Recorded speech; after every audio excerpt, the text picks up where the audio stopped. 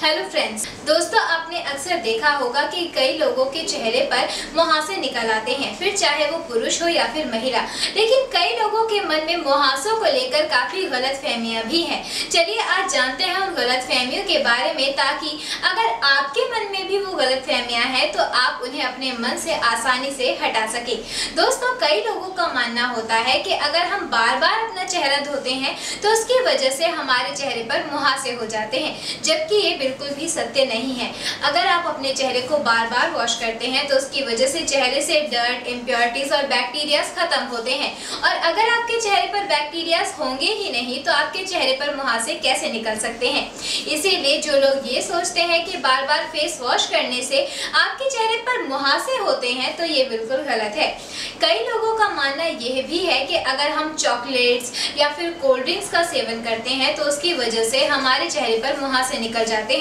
वैसे ये बात काफ़ी हद तक गलत है। लेकिन अगर आप बहुत ज़्यादा मात्रा में चॉकलेट और शराब का सेवन करते हैं तो उसकी वजह से आपको ओबेसिटी की प्रॉब्लम होती है।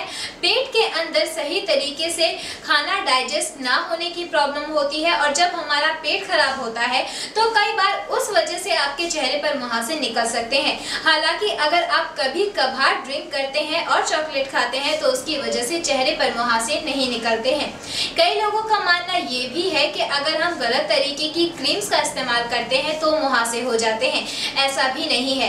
हाँ ये ज़रूर हो सकता है कि अगर आपने किसी और का यूज़ मेकअप यूज़ किया है, जिसके चेहरे पर मुहासे होते हैं तो वो संक्रमण आपको फ्री में मिल सकता है और उसकी वजह से आपके चेहरे पर मुहासे निकल सकते हैं। सो दोस्तों, ये है कुछ ऐसी गलत जो लड़कियों और लड़कों दोनों के ही मन में होती है।